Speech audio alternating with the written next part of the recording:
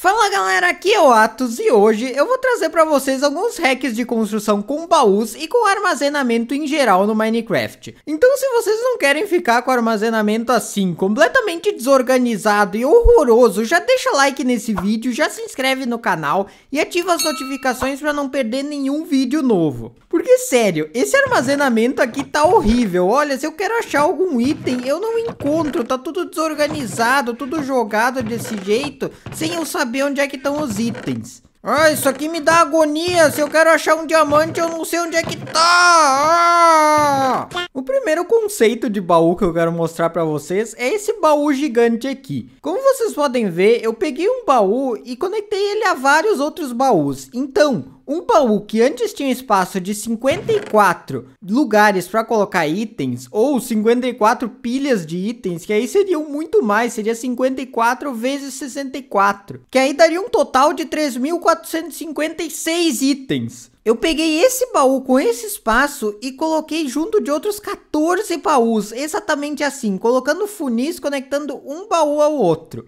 Aí só para melhorar o uso dele, eu coloquei esse elevador aqui pra gente subir até lá em cima. Chegou aqui, vem nesse baú, coloca todas as pedras aqui nesse baú, vamos colocar, encher tudo, 3.456 pedras. E aí pode vir aqui, descer por esse elevador aqui e as pedras já estão chegando aqui embaixo. Aqui embaixo é o lugar de retirar os itens, lá em cima é o lugar de colocar os itens. E aí a gente tem esse baú gigantesco aqui. Já pensou fazer um estoque que cada item tem um baú desses? Aí a gente tem esse outro conceito aqui que é um baú escondido. Olha só, olhando assim parece um simples quadro quadro.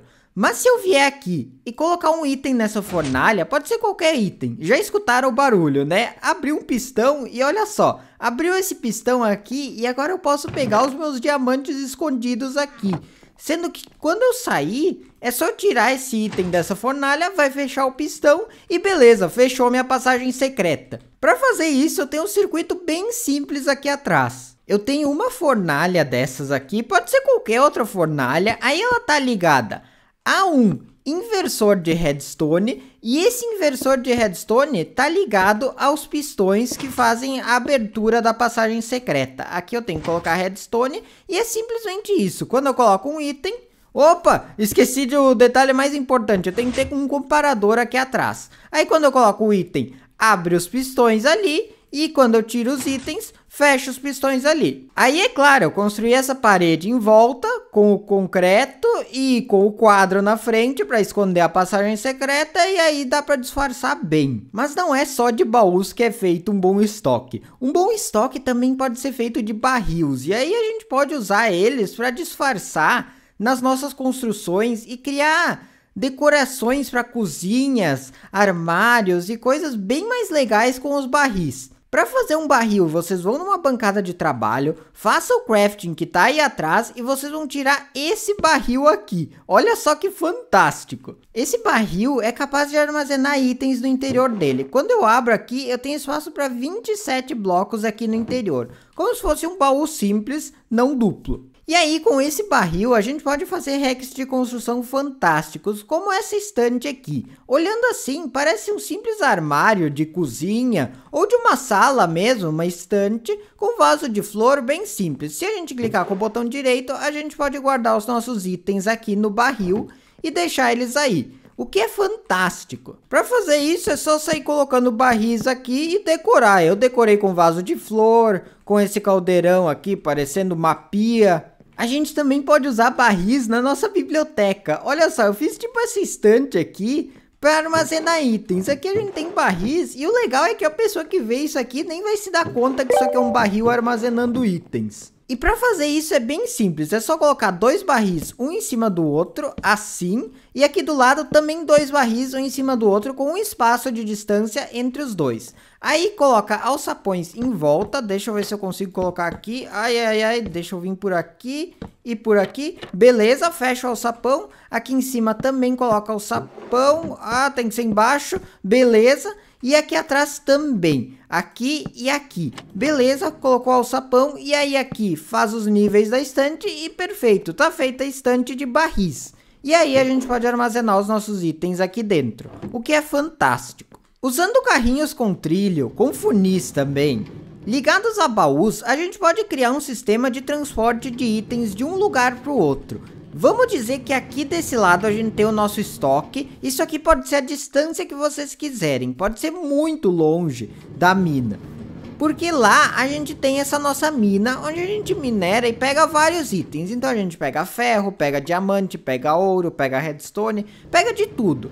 Aí a gente vem aqui, coloca o diamante que a gente minerou aqui e aí o carrinho vai vir aqui, vai buscar esse diamante e vai levar lá pro outro lado, lá no nosso estoque. E olha só, tá aqui o nosso diamante, a gente não precisa se preocupar em ficar levando itens de um lado pro outro e ficar com o inventário cheio enquanto a gente tá minerando. Esse conceito aqui é bem legal e bem simples de fazer.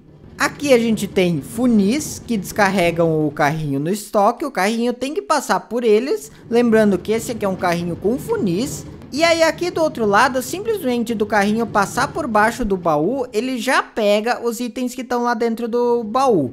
E aí eu só coloco aqui uns trilhos propulsores para dar velocidade para o carrinho. Lembrando que quando o carrinho passa aqui nos funis e passa ali no baú, ele tem que estar tá mais devagar, porque senão ele não vai conseguir deixar os itens se ele tiver uma velocidade muito rápida. Então o que eu faço aqui é colocar o trilho propulsor bem longe do outro baú. Se vocês fizerem isso aqui em uma escala maior, vai ser mais fácil ainda.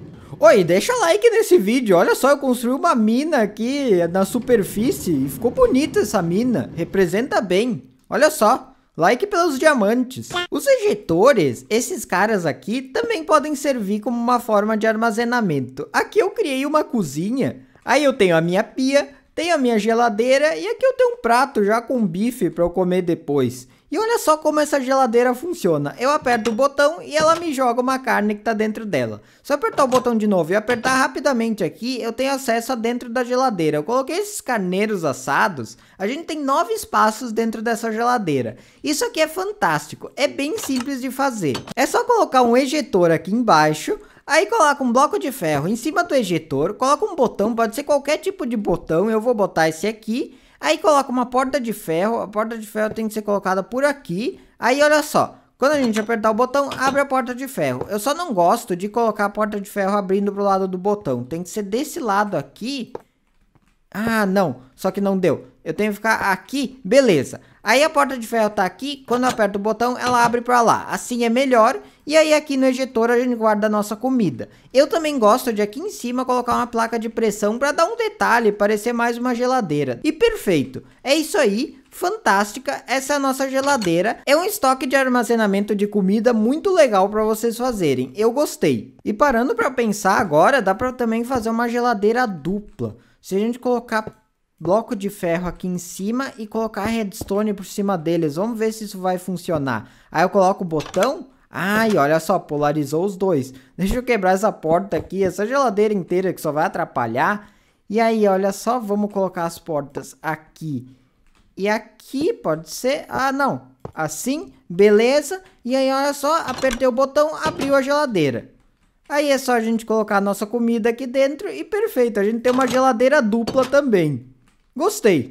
Próximo é uma dispensa de comida. Vamos dizer que vocês não querem usar a geladeira, querem algo mais prático. Olha só isso aqui, eu posso colocar os meus bifes que ainda não estão assados em fogueiras e aí fazer tipo um armário de comida. Eu fiz ele aqui com quatro blocos, vocês podem fazer menor. não sei se isso aqui é tão bom assim, porque só dá pra guardar um bife sozinho, aqui não tem uma pilha de bife, só tem um bife. Aí eu tenho quatro bifes por fogueira, isso aqui ocupa muito espaço e guarda poucos bifes. Mas é uma decoração legal. Para fazer isso, vocês colocam duas fogueiras, assim, uma do lado da outra e duas em cima dessas duas. Finge que aqui atrás tem uma parede, porque eu vou deixar aberto para vocês verem dos dois lados. Aí, joga... Ah, não, eu peguei o frasco errado. É um frasco de água arremessável. Joga um frasco de água arremessável. Quem não tem isso, pode usar um balde com água mesmo. Aí aqui em volta, colocar os sapões. Tem que colocar um em cima do outro assim. Aqui do lado também. E aqui em cima também. Desse lado e desse lado. Perfeito, fecha os alçapões. E aí, claro, aqui como eu não botei parede, eu poderia fechar aqui atrás. Eu não vou, E aí aqui na frente coloca uma porta, só que a porta sempre é meio ruim de colocar, a gente tem que vir aqui por trás e colocar a porta. Beleza, e aqui desse lado também vamos colocar a porta, aê, beleza. E aí aqui tá o nosso armário de comida. Aí dentro dele, vamos aqui por trás para vocês verem, vamos colocar os porquinhos aqui dentro. E olha só que fantástico, aí é só colocar os porcos, eles não podem ainda estar tá assados, porque isso aqui é uma fogueira. E aí, quando a gente vem aqui, a gente tem acesso a eles, pode pegar... Ah, eu quebrei a fogueira! Deixa eu colocar ela de volta, beleza. Agora sim, vou colocar os porcos de volta e beleza. Ai, ai, ai. Beleza, e essa aqui é a nossa dispensa. Para quem quiser fazer uma dispensa na cozinha no Minecraft, essa é uma boa ideia. E o próximo, olha, esse não é tão bonito assim. Mas quem quiser aproveitar o espaço de armário no quarto, pode fazer esse aí. O que eu fiz foi colocar dois baús dentro de portas e aí a gente tem tipo um armário dentro do nosso quarto no Minecraft. Não é tão bonito, mas funciona. Tem que deixar que ele funcione e é bem útil. É mais útil do que colocar blocos maciços aqui que não vão servir para nada. Para fazer isso, a gente coloca dois baús grandes, um em cima do outro, aqui e aqui. Beleza? Aí vamos colocar os sapões aqui dos lados assim e assim, o procedimento é bem parecido com a dispensa de comida. Aqui em cima também, fecha esses dos lados, ai, ai, ai, eles têm que estar na posição certa, beleza. Aqui e aqui, fechou. E aí, coloca as portas. Eu tenho que vir aqui para colocar as portas, beleza. E porta, beleza. Aí tá aqui nosso armário. É um jeito de guardar os itens e de disfarçar fazendo um armário no quarto. É interessante, mas não é muito bonito. Se a gente tem um baú normal, a gente tem 27 espaços que a gente pode guardar itens. Legal. Aí se a gente duplica esse baú, a gente tem 54 espaços. E em cada um desses espaços, a gente pode botar uma pilha de até 64 itens. Agora, se a gente tem uma shulker box, a gente tem os 27 espaços, mas a gente pode quebrar ela e botar no nosso inventário com os itens dentro. Por exemplo, aqui eu tenho diamantes, eu vou quebrar ela, Beleza, peguei e tá aqui uma shulker box com os diamantes dentro. Eu vou colocar de volta, estão aqui os diamantes. De novo esse vendedor atrapalhando meu vídeo. Não tem um vídeo que ele não me atrapalha. Sai daqui, eu vou botar na picaretada. Ah, eu tenho que desligar o vendedor do mapa. Vai embora, sai daqui. Ah! Tá, então se eu pegar essas shulker box cheias de diamantes, quebrar elas, colocá-las no meu inventário eu já tenho 27 vezes 64, que dá 1728, e eu tô colocando dentro do meu inventário que tem 27 mais 9 blocos aqui embaixo, ou seja, 36. 36 blocos vezes 1728, nem sei quanto dá isso, dá 62.208. E aí eu posso colocar essas shulker box aqui dentro desses baús, ou eu posso pegar e colocar elas dentro de ender chests. E aí, claro, eu vou ter 27 shulker box com 1728 itens cada uma, o que dá aqui um total de 46.656 diamantes, mas eu vou ter esses diamantes em qualquer lugar do mundo. Então olha só que fantástico, eu posso fazer um estoque bem segmentado aqui, cada shulker box com um tipo de item dentro de uma ender chest e levar para qualquer lugar. Então olha só, eu vou lá longe e aqui, tá, eu tenho essas shulker box cheias, deixa eu jogá-las fora, eu só vou levar um baú do ender. Vamos jogar tudo isso aqui fora e vamos lá, sei lá, bem longe. Já estamos bem longe também. Aí eu venho aqui, coloco uma Ender Chest e olha só, estão todos os meus itens aqui. E assim eu posso carregar todo o meu estoque de itens do jogo usando apenas um baú do Ender. Eu posso colocar todo esse estoque dentro desse baú do Ender. E mesmo se eu tiver no Nether, tá aqui o meu baú do Ender no Nether com todo o meu estoque dentro. E olha só, coloquei um baú do Ender, tá aqui o meu estoque. Isso sem contar que o baú do Ender é só meu, então se outro jogador abrir o baú do Ender, ele não vai conseguir pegar os meus itens, porque os itens são só meus. E beleza, galera, esse vídeo vai ficar por aqui. Eu espero que vocês tenham gostado. Deixe o like, se inscrevam no canal e ative as notificações para não perder nenhum vídeo novo. Assista o vídeo que tá aparecendo aí do lado, que eu tenho certeza que vocês vão gostar. Valeu, falou e até a próxima. Fui!